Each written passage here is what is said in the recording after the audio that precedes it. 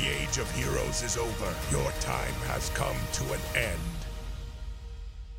In a world where heroes are tested, where darkness threatens to consume all, I've spent my life trying to save this world, but now it's not just about me. It's about everyone.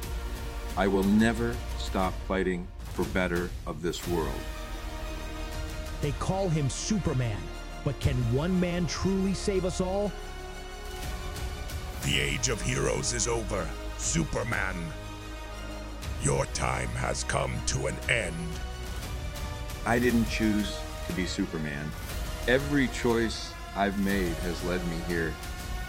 I won't let fear dictate my future. You were sent here for a reason, Clark. It's time you embraced who you truly are.